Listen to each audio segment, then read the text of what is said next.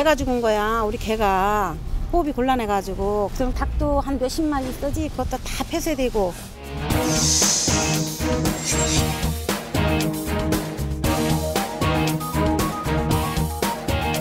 아 전혀 몰랐죠. 알았으면 알았으면 아마 이사 오지 않았을 거예요.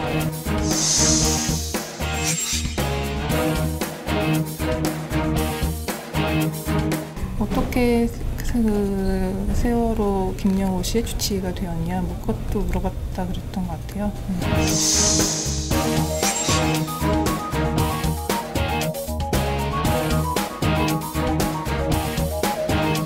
교수님들 그 국지 차원에서 논문을 같이 3명, 4명 써도 350만 원씩 지원을 했었습니다.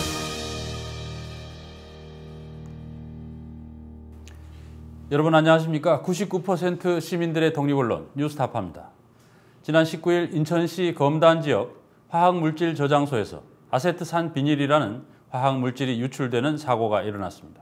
이 사고로 근처의 개와 닭들이 죽고 농작물이 고사했는데요. 더 큰 문제는 이곳이 주거지와 밀접한 지역에 위치하고 있다는 겁니다. 인근 주민들이 두통, 메스꺼움 등 여러 이상 증세를 호소하고 있습니다만 구청과 소방서 등 정부기관의 대처는 미흡하기 그지없습니다. 이유정 기자가 취재했습니다. 인천시 서구 왕길동의 한 도로변. 옆으로 늘어진 가로수 잎들이 누렇게 색이 바랬습니다. 나무 몸통도 칙칙하게 변색됐습니다. 도로 안쪽으로 들어가 보니 상황은 더 안 좋습니다. 밭에는 살아있는 작물이 거의 없습니다. 고추 등 농작물은 다 말라 죽어 구청에서 수거해 갔다고 합니다. 이 일대에 유해 화학물질 유출 사고가 난 것은 지난 19일. 근처 화학물질 저장소에서 아세트산 비닐 상당량이 지하 탱크에서 유출됐습니다. 저장소 측은 500여 리터가 유출됐다고 주장하지만 인근 주민들은 이보다 더 많은 양이 유출됐을 것이라고 말합니다. 필름이나 접착제 등의 원료로 쓰이는 아세트산 비닐은 노출됐을 경우 어지럼증, 복통, 수포 등을 일으킬 수 있습니다. 식품의약품안전처에서 발암 의심물질로 분류한 것입니다. 유출 원인은 아직 파악되지 않고 있습니다. 관리는 우리가 철두철미하게 했는데 이거는 그런 사고가 났으니까 뭐 저도 할 말은 없습니다만은 이런 사고는 앞으로 이제 없어야 되겠죠. 그리고 이 물품 이 품목에 대한 건 앞으로 받지는 않으려 그러죠. 문제는 이렇게 안전관리가 취약한 유해물질 저장소 바로 옆에 대규모 아파트 단지가 있다는 겁니다. 여기 바로 앞에서 그러면 일하시는데 네. 여기에 그런 화학물질을 저장하는 곳이 있다는 걸 알고 계셨나요? 아니요, 저희는 전혀 몰랐어요. 유해물질 저장소 옆에 대규모 주거지가 있었지만 당국은 사고 발생 직후 초동 대응을 제대로 하지 못했습니다. 처음 사고 신고가 접수된 시각은 19일 오후 2시 18분. 그러나 무려 2시간이 넘어서야 중화제가 투입됐습니다. 소방서, 구청, 심지어 저장소에도 중화제가 구비돼 있지 않았기 때문이었습니다. 중화제가 오길 기다리는 동안 소방대원들은 현장에서 물을 뿌리는 수밖에 없었다고 합니다. 유출 사고로 직격탄을 맞은 곳은 저장소 바로 아래 위치한 목재소였습니다. 이곳에 키우던 개와 닭들은 모두 폐사했고 이곳 직원 5명은 사고 직후 입원까지 했습니다. 그러니까 이 일대가 안개같이 쫙하게 이게 약품이 내려가지고 막 눈도 아프지 호흡도 곤란하지 그러고 나다 보니까는 개가 죽은 거야 우리 개가 호흡이 곤란해가지고 그러니까 이 밑에 농작물 다 있었지 저기 닭도 한 몇십 마리 있었지 그것도 다 폐쇄되고 지금 우리 식구들 고토가 나지 눈 아프지 그냥 처음에는 목이 아프지 그래 지금도 오늘도 병원에 가요 사고 당시 목재소 옆 밭에서 일하던 70대 할머니는 현재도 입원 치료 중입니다. 그 가슴에 숨을 못쉬 콱 막히더라고요. 그러다 보니 경찰 아저씨가 나오라고 나오라고 막 그래 할머니 어디 아프냐 머리 아프다니까 그때는 숨 차는지 뭔지 모르고 머리가 제일 아프더라고요. 인근 주민들은 불안에 떨 수밖에 없습니다. 아무래도 뭐 노인분이나 뭐 이렇게 어린 아가 는 면역이 더 약하니까 엄마들이 더 걱정이고 지금도 환기도 못 시키고 언제 괜찮아지는지 모르니까 확실히 말해주는 게 없어서 그냥 불안한 마음에 공기청정기만 24시간 동안 돌리고 환기도 못해서 청소도 제대로 안 되고 있고 주민들은 사고 후 관련 기관에서 피해 파악도 제대로 하고 있지 않다며 분통을 터뜨렸습니다. 어떤 인적 피해는 조사를 하지 않고 가로수라든가 어떤 식물에 대한 조사만 한다고 하는 건 좀 문제가 있지 않나. 그래서 여기 주위에 직접적인 피해를 받은 상가를 돌아다니면서 어떤 인적 피해에 대해서 조사를 한 내용이 단 하나도 없었습니다. 화학물질의 하천 유출 차단도 뒤늦게 이루어졌습니다. 당시 출동한 소방서에서는 이곳에 차단막을 만들어 화학물질 유출을 막기 위해 노력했습니다. 하지만 이는 사고가 발생한 지 이미 3시간여가 지난 후에야 이루어진 조치였습니다. 이곳 현장에서 흐르는 하수와 토양에서는 아직까지도 악취가 나고 있습니다. 물고기들은 이미 떼죽음을 당했지만 하천에서는 아직 방제 작업이 계속되고 있습니다. 무엇보다 큰 문제는 이 지역 주민들조차 아파트 단지 옆에 유해 화학 물질 저장소가 있었다는 사실을 전혀 모르고 있었다는 겁니다. 아니요, 이번 사건으로 인해서 처음 들었고요. 저뿐만이 아니라 제 주변의 다른 주민들도 다 처음 들었다고 하시고요. 이번에 또 그 공장이 증설을 해서 저장 탱크가 더 늘어났다고 알고 있어요. 그래서 어, 너무 아파트 바로 옆에 그렇게 주민들이 사는 옆에 그런 게 점점 증설이 돼도 되나 의문이 들어서 주민들 중에는 아직도 구토나 어지럼증을 호소하는 사람들이 있습니다. 그러나 구청 등에서는 별다른 대책을 내놓지 않고 있습니다.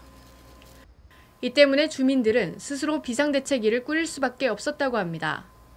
관계 기관에서 초동의 대처를 잘 하고 사태 수습을 잘 하, 했다면은 저희가 이런 비상대책위원회라는 거를 아, 구성할 이유가 없는데 처음부터 잘못돼가지고 현재까지 아무것도 이루어진 게 없습니다. 지금 세월호 사건이 터진 지가 얼마 안 됐습니다.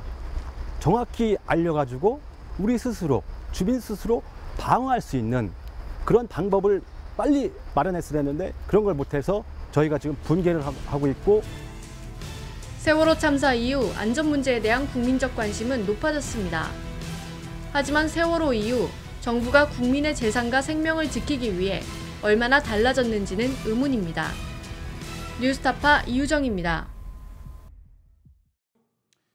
방금 보셨습니다만 사고가 난 인천 서구 지역의 주민들은 내 집 주위에 어떤 위험 물질들이 보관되고 있는지 잘 모르고 있었습니다. 시청자 여러분은 혹시 내 집 주위에 어떤 유해 물질이 보관되어 있는지 아십니까? 뉴스타파는 지난해부터 정보 공개 청구를 통해서 이번에 유출 사고가 난 인천 지역뿐 아니라 전국 모든 지역의 유해 물질에 대한 데이터 지도를 그려왔는데요. 오늘 그 1차 완성본을 공개하겠습니다.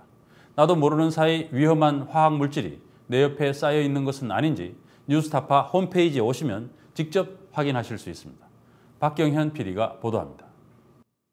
아 전혀 몰랐죠. 알았으면 알았으면 아마 이사 오지 않았을 거예요. 그거는 어느 누가 생각하더라도 아이를 키우는 엄마들 입장에서는 제 집 앞에 1km 내에 있었다는 걸 알았다면 이사 오지 않았겠죠. 주거지 바로 옆에 아세트산 비닐이라는 위험 물질이 수십 톤이나 쌓여 있었지만 알 길이 없었습니다. 아세트산 비닐은 국제암연구소에 따르면 2B 등급의 발암 가능 물질입니다. 환경부는 화학물질 배출 이동량 정보 시스템을 통해 전국의 화학물질 취급에 대한 정보를 공개하고 있습니다. 그러나 이번에 유출 사고가 난 인천 서구 왕길동의 유해물질 저장소는 이 사이트에서 찾아볼 수가 없습니다. 환경부는 유해물질을 저장만 하는 경우는 공개하지 않는다고 말합니다. 그럼 보관만 하는 거는 여기 아예 안 나오는 거네요? 그렇죠. 거기에는 안 나오고 등록이 된 사업장인 경우에는 지자체에 문의해서 확인하시면 되거든요. 그러나 관할구청은 해당 저장소에 어떤 유해 물질이 얼마나 있는지는 정보 공개를 청구해야 알려줄 수 있다는 답변을 내놓습니다. 그거는 자- 정식으로 정보 공개를 하시고 그러면 제가 보여드릴 수 있죠. 그거는. 일반 시민들이 자기 집 주변에 어떤 위험 물질이 있는지 알 길이 사실상 막혀 있는 것입니다. 어떤 물질들이 어떻게 있는지조차 모르고 또 그 물질이 누출됐을 때 어, 주민들이 어떻게 해야 되는지도 알 수가 없는 어, 그런 문제를 갖고 있기 때문에 그러한 것들이 공간적으로 어, 정보가 표현된다는 것은 어, 굉장히 중요한 의미를 갖고 있다고 생각합니다. 이 때문에 뉴스타파는 시민들에게 유해물질 관련 정보를 일목요연하게 제공하기 위해 이미 이전부터 전국의 모든 기초지방자치단체에 정보 공개를 청구해 자료를 정리해왔습니다. 이번 유출 사고 업체가 지난해 인천 서구청에 신고한 화학물질 보관 내역입니다. 과산화수소 200톤, 염소산소다 200톤 등이 기재돼 있습니다. 이 물질들도 유출되면 인체에 유해하긴 하지만 발암 물질은 아닙니다.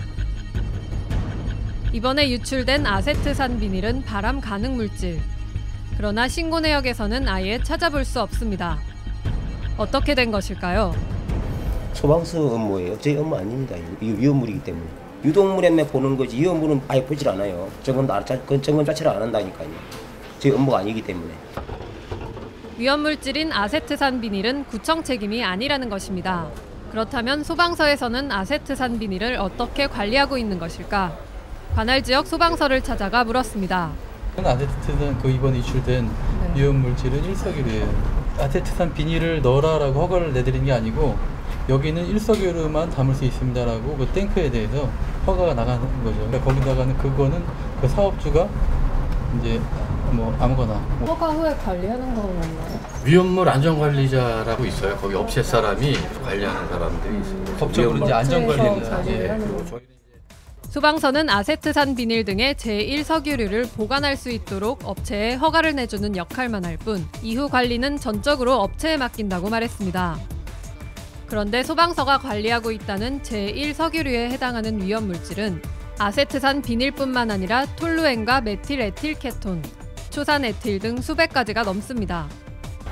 이석유- 일상 유류는 몇 가지나 돼요? 아, 그것도 몰라. 알 수는 없죠. 세상 그 수많은 그 물질을 만들 뭘 보관하고 있는지를 모르는 거 아니에요? 그렇죠. 구체적으로 어떤 위험 물질을 보관하고 있는지도 모른다는 이야기입니다. 정부의 규제 완화 정책 탓에 소방 당국의 정기 점검 횟수도 줄어들고 있다고 털어놨습니다. 점검이나 단속을 하는데 자꾸 그 규제 안 하다 보니까 점검이나 단속이 자꾸 이제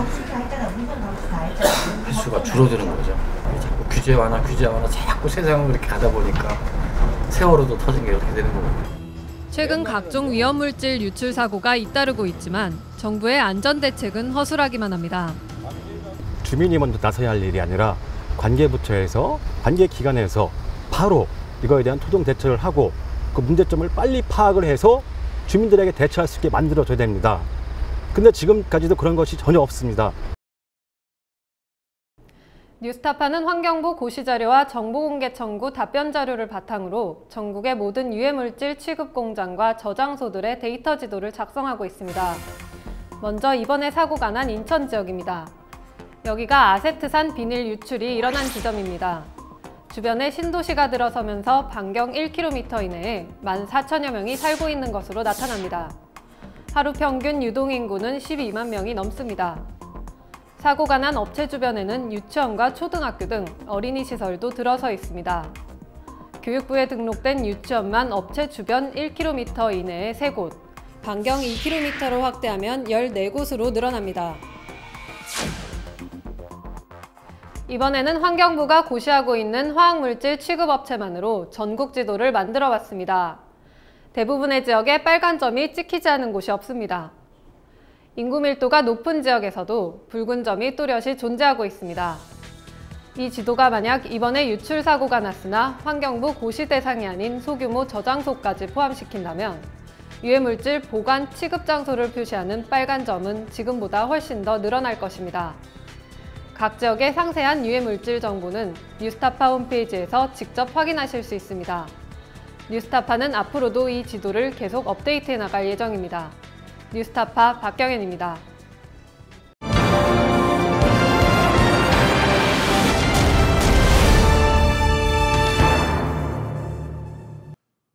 세월호 참사의 진상을 밝혀줄 특별법 제정을 요구하면서 44일째 단식을 이어가고 있는 고 김유민 양의 아버지 김영호 씨. 상태가 급속히 악화돼 병원으로 옮겨진 지난 22일에는 여론의 관심이 최고조에 이르면서 여당에서마저 대통령의 역할이 필요하다는 목소리가 나왔습니다. 그런데 그 직후부터 김 씨와 그 주변 사람들에게 다양한 형태의 압박이 가해지고 있고 그 과정에서 국정원이 관여하고 있는 정황도 감지되고 있습니다. 김성수 기자가 보도합니다. 지난 20일 청와대 앞 38일째 단식 중이던 김영호 씨는 대통령 면담을 요청하러 가던 중 경찰에 가로막혀 몸싸움까지 벌입니다.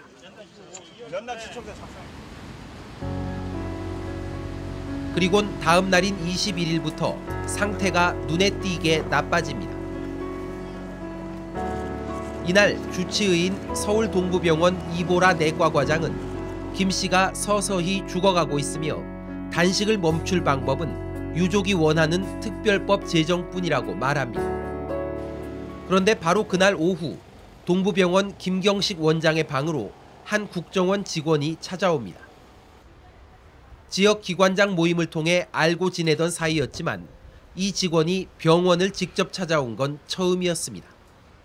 저하고 한 시간 얘기를 하고 이제 뭐 이제 돌아갈 시간인데도 이제 제 생각에는 뭐 이 사람이 궁금해서 궁금한 게 있어서 왔을 텐데 뭐 그래가지고 저는 그냥 그 거- 거꾸로 제가 그냥 아그 이제 세월호 얘기한 거고 이제 뭐 그 이보라 선생이 그런 훌륭한 일을 하는데 박근혜는 뭐 하는 거냐 뭐 한참 이제 그딴 소리 하고 그랬던 거라 그러자 국정원 직원은 기다렸다는 듯 이보라 주치의를 화제로 대화를 계속 이어갔습니다. 이보라는 어떤 의사이냐, 어떤 사람이냐, 음, 그리고 뭐 어떻게 그 세월호 김영호 씨의 주치의가 되었냐, 뭐 그것도 물어봤다 그랬던 것 같아요. 네. 네. 그래서 원장님은 저에 대해서 이제 음, 이렇게 변호를 해줬고 그러나 국정원은 직원이 병원장을 찾아간 사실 자체를 아직 시인하지 않고 있습니다. 우리가 뭐 병원장 및 그걸 뭐 주최들 얘기를 있어가지고 이제 우리 사주관계 확인 중에 있습니다. 다음 날인 22일 아침 김영호 씨는 결국 병원으로 옮겨집니다. 그런데 바로 이날 이번엔 전북 정읍에 사는 김 씨의 어머니가 전화 한 통을 받고는 고개를 갸웃거렸습니다. 부장이 저한테 전화 왔죠. 아들 몇 살 이름이 누구냐. 뭐 좀 이상하다 싶은 생각은 안 드셨고요. 글쎄요. 어, 동네 저기 뭐 호적계장이 동네 감당 호적계장이 그런 거나 신분조사 하는 거 아니에요? 좀 이상하죠. 마을 이장은 그날 아침 자신을 찾아온 부면장의 부탁으로 김 씨 어머니에게 전화를 했다고 말했습니다. 그 부면장님이 뭘 궁금해하신 거예요? 아 어디 이제 어디 동네 사는 것이 확실하냐고 동네 이제 이 동네 살던만 지냐고 그리고 그것만 물어봤어 뭐 다른 거 하나도 물어도 안 봤어 진짜 있는 그러나 부면장은 김영호 씨 가족 관계에 대해 이 장과 상당히 많은 이야기를 나눴다고 말했습니다. 다만 김영호 씨가 이평면 출신인 걸 우연히 알게 돼 개인적 호기심이 생긴 것일 뿐 누구의 부탁을 받은 건 아니라고 밝혔습니다. 그 인터넷에 그것은 이제 입병 사람이니라 알아서 이제 내용만 알지 출신이라고 하는 거나. 근데 그 양반이 그 이장님이나고 주변 물어보니까 그 젊었을 때 그왜 결혼해갖고 나갔다 그런 거 객지 생활 그거서 하니까 뭐 이제 그것만 알지. 막내 아들이고 이제 어머님은 여기 혼자 살 계시고 그다음에 이제 형님은 어디 그 김정구 어디서 왔다 갔다 이렇게 어머니 이렇게 데려오고 다른 내용은 몰라요. 그러나 인터넷상에는 김영호 씨 고향이 정읍이라는 정보는 있어도 이평면 출신이라는 건 어디서도 찾을 수가 없습니다. 더 따져 묻자 그제서야 누군가로부터 김영호 씨에 관해 미리 들었다고 말합니다. 출신은 이제 그거 이제 뭐 누구한테 들었는지 지금 잘그 입형 사람은 좀 누가 들었어요 저하고 또 어렴풋이 누가 혹시 와가지고 뭐 네, 그런 건 여기 없었고. 사람이라고 알려주거나 그러진 없고, 않아요. 예, 우리 저그 이평 출신인가 그런 사람이 한번 이야기를 했어요. 그좀 나이 드신 양반이 병문안도 갔다 왔다고 그러더라고. 그러나 부위원장과 이장이 만난 시각은 김영호 씨가 병원으로 실려간 지난 22일 오전. 그 시간에 서울로 병문안을 다녀온 누군가로부터 김영호 씨 이야기를 들었다는 건 말이 되질 않습니다. 재차 따져 물었지만 부위원장은 언제 누구로부터 김영호 씨의 출생지 정보를 들었는지 끝내 밝히지 않았습니다. 나이 드신 양반이? 예. 그분이 그럼 모르죠 이제. 그분이 그러니까 그분이 여기 와서 말씀해 주신 건가요? 그건 아니. 정황상 부위원장은 어딘가로부터 김영호 씨의 기본 정보를 파악한 뒤 이장을 통해 세부 정보를 확인하려 했던 것으로 보입니다. 가족 대책위는 가장 윗선으로 국정원을 의심하고 있습니다. 저희는 전혀 저 없이 그때 간 적도 없고 전화한 적도 없습니다. 저는 사실 무근이고 그건 시간 되면 밝혀질 거고. 이 무렵부터 김영호 씨 본인에 대한 음해성 루머가 돌기 시작합니다. 김 씨가 금속노조 조합원이었다는 뜬금없는 색깔론. 이혼한 뒤 두 딸에 대한 의무를 방기했다는 카더라식 나쁜 아빠론. 결국 어버이연합 등 보수단체의 비난 시위에 이어 보수 일간지들의 맞장구 기사까지. 불과 며칠 사이에 동시다발적으로 벌어진 일들입니다. 그게 실제로 국정원의 소행인지 아닌지는 뭐 다 조사를 해봐야 알겠습니다만 실질적으로 조사하기가 쉽지 않죠.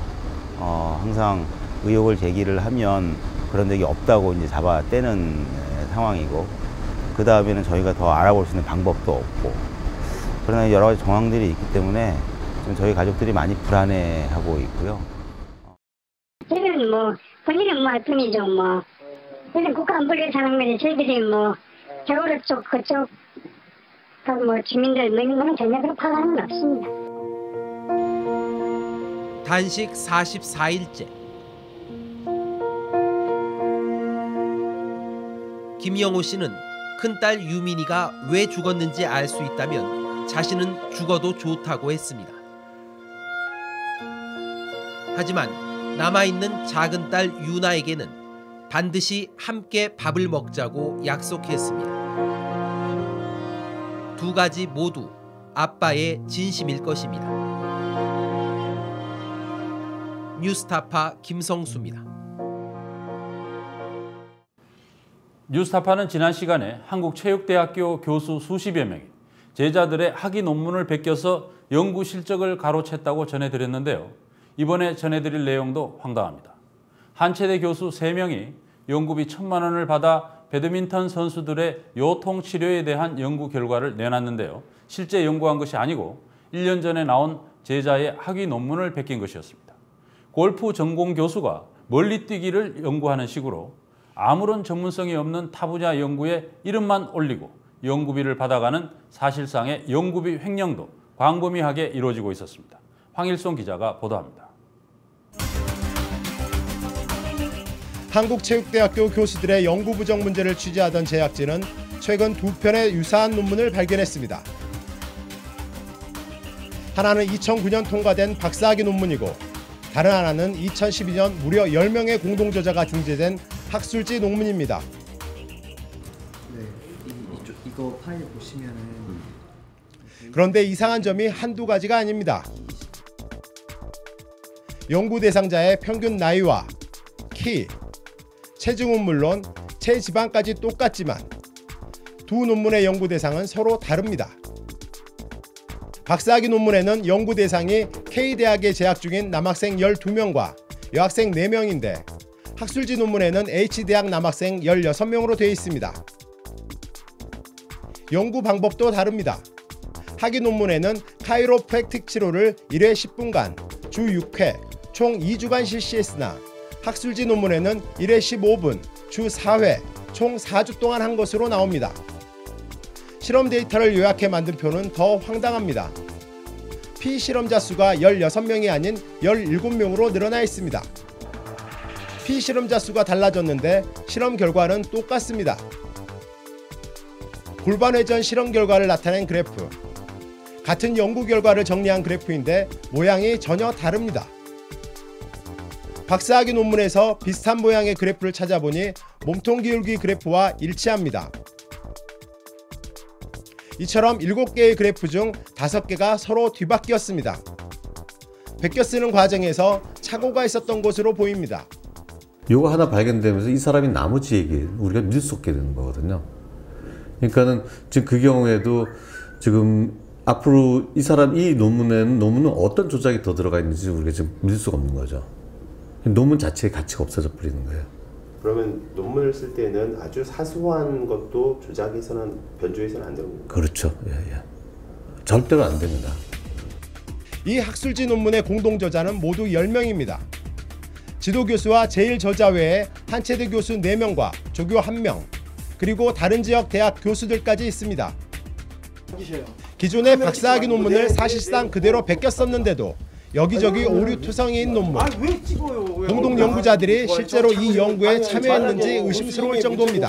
아 그냥 말씀을 드린다 그래 말씀을 드린다 그러잖아요. 지도 교수로서의 도의적인 책임이 네, 있는 건 교수로서 알아요. 자격이 있는 건가요 이게? 아니죠. 생각을 해 보세요. 수많 수많은 일들이 네. 이한 논문만 있는 게 아니라 박사, 석사 애들이 이 밑에 열 명씩이나 다 있는데 그런 애들을 다 일일이 다 어떻게 체크를 해줘야 네가 정리해서 네가 어?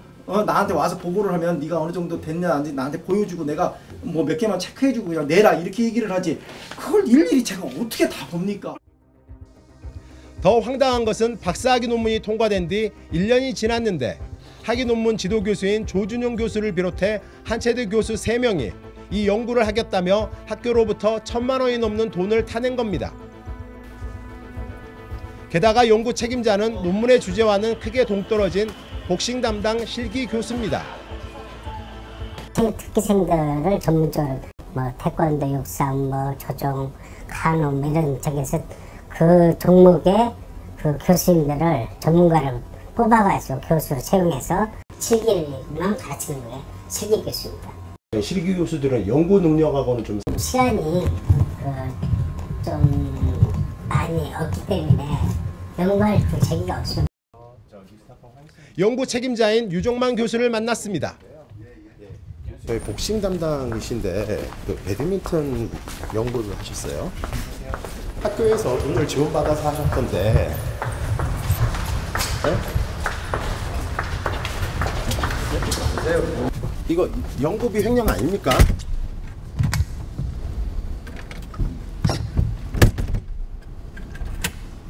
아니 교수님 학생들의 훈련 시간에 맞춰 다시 찾아갔습니다. 답변이 없으셔가지고 다시 왔는데요. 배드민턴도 많이 움직이고 우리도 움직이면서 운동하고 민첩성이라든가 그런 스피드 훈련 같은 것도 그렇게 좀 코치도 있는 거 아닙니까? 그리고 좀 유사한 종목이니까 또쓸 수도 있는 거예요. 논문의 내용은 요통에 시달리는 배드민턴 선수들한테 어떤 치료를 해줄 건가거든요. 그래서 민첩성하고 스피드하고 상관없는 내용들인데 유사하기 때문에 좀 헛다고 그렇게 생각합니다. 복싱 선수들도 요통이 있습니까? 카이로프랙틱 치료를 아세요? 모릅니다. 유정만 교수가 지난 2009년부터 올해까지 받은 교내 학술비는 6차례에 모두 2,100만 원. 그러나 연구 대상은 요트 선수와 태권도장, 스포츠 클럽, 스포츠 스타 등으로 복싱과 관련된 연구는 단 한 건도 없었습니다.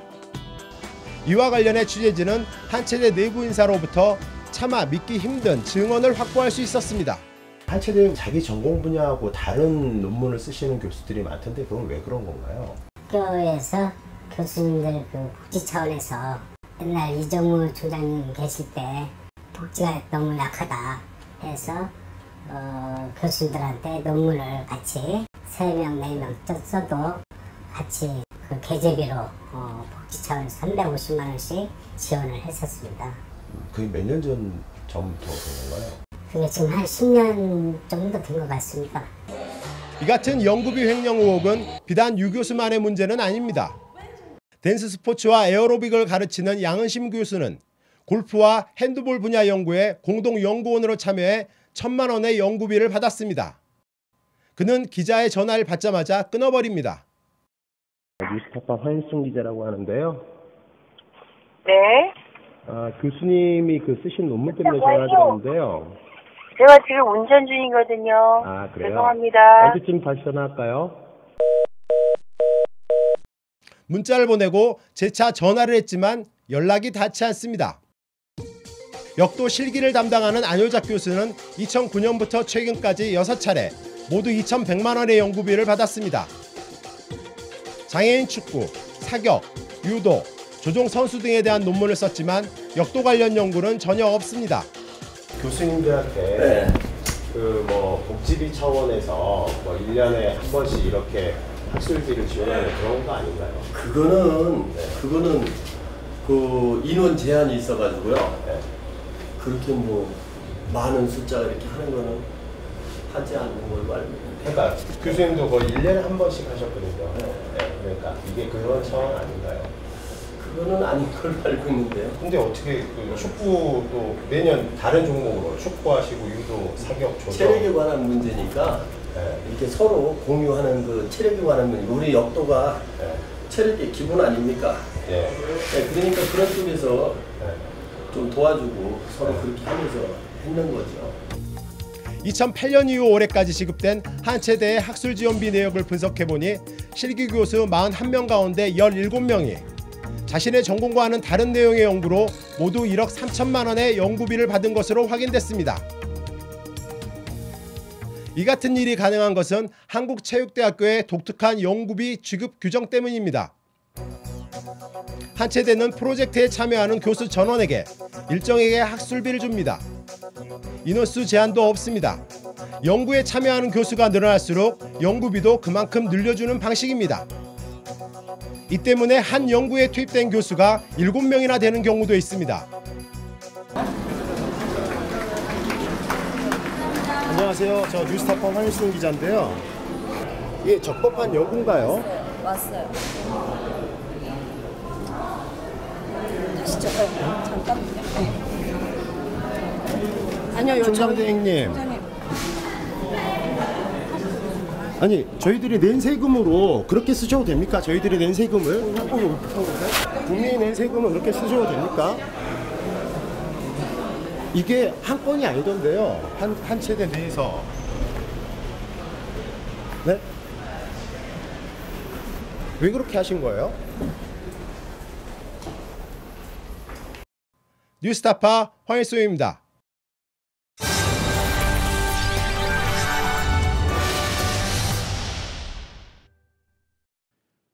아무리 정치적 견해가 달라도 사람에게는 사람에 대한 예의라는 게 있습니다. 박근혜 대통령이 유족들에게 여한이 남지 않도록 하겠다고 말한 것도 자식을 잃은 사람들에 대한 예의였을 것입니다. 그러나 지금 박 대통령은 유민 아빠와 며칠째 청와대 앞에서 노숙 농성을 하고 있는 유족들의 면담 요청을 거부함으로써 그 예의를 저버렸습니다. 대통령과의 만남을 거절당한 유민 아빠와 유족들은 온갖 음해에다 국가기관의 사찰 의혹에까지 시달리고 있습니다. 박 대통령은 유민 아빠의 단식을 중단시키고 그를 살릴 수 있는 단 한 사람입니다. 음해와 유언비어로 세월호 전국을 끝내려는 세력이 있다면 그 기도를 중단시킬 수 있는 것도 대통령입니다. 적어도 국민 절반이 요구하고 있는 유족들과의 만남을 끝내 거절하고 그래서 사태가 최악의 상황으로 가고 만다면 그때 박 대통령은 대통령으로 남을지는 모르지만 더 이상 국민의 대통령은 아니게 될 것입니다. 오늘 뉴스타파 여기서 마치겠습니다. 감사합니다.